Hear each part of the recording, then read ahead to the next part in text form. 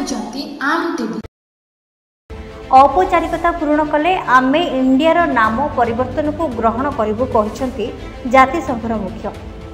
ଇଣ୍ଡିଆର ନାମ ପରିବର୍ତ୍ତନ କରି ଭାରତ କରିବା ପାଇଁ ଯଦି ସମସ୍ତ ଔପଚାରିକ ପୂର୍ଣ୍ଣ ହେବ ଏବଂ ଆନୁଷ୍ଠାନିକ ବ୍ୟବସ୍ଥା ଅନୁଯାୟୀ ସମସ୍ତ କାର୍ଯ୍ୟ ଶେଷ ହେବ ତେବେ ଆମେ ଇଣ୍ଡିଆକୁ ଭାରତ ଭାବେ ଗ୍ରହଣ କରିବୁ।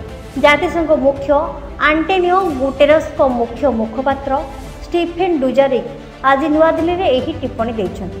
ଜାତିସଂଘ ମୁଖପାତ୍ର କହିଛନ୍ତି ସବୁ ଔପଚାରିକତା ପୂର୍ଣ୍ଣ ହେଲେ ଜାତିସଂଘ ରେକର୍ଡରେ ଇଣ୍ଡିଆର ନାମ ପରିବର୍ତ୍ତନ କରି ଭାରତ କରାଯିବ ଉଲ୍ଲେଖଯୋଗ୍ୟ ଯେ ରାଷ୍ଟ୍ରପତିଙ୍କ ଜି ଟ୍ୱେଣ୍ଟି ନିମନ୍ତ୍ରଣ ପତ୍ରରେ ପ୍ରେସିଡେଣ୍ଟ ଅଫ୍ ଭାରତ ଲେଖାକୁ ନେଇ ବିବାଦ ହୋଇଥିବା ବେଳେ ଏଭଳି ସମୟରେ ଜାତିସଂଘ ମୁଖ୍ୟ ଏହି ଟିପ୍ପଣୀ ଦେଇଛନ୍ତି।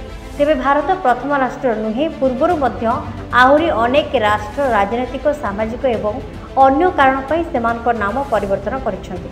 ଜାତିସଂଘର ଶୀର୍ଷ ଅଧିକାରୀ ଏହି କ୍ଷେତ୍ରରେ ତୁର୍କୀର ଉଦାହରଣ ଦେଇଛନ୍ତି। ବ୍ୟୁରୋ ରିପୋର୍ଟ ଆମ୍ ଟିଭି। ଆପଣ ଦେଖୁଛନ୍ତି ଆମ୍ ଟିଭି।